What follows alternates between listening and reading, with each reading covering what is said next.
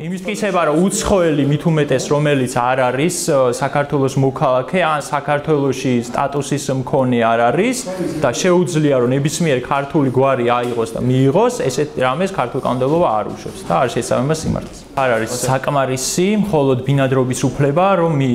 შეიცვალოს სახელიან გვარი პირმა ამისთვის დადგენილია გარკვეული კრიტერიუმები რომელსაც უნდა აკმაყოფილებდეს აუცილებლად პირი ესე იგი პირველ რიგში იგი უნდა იყოს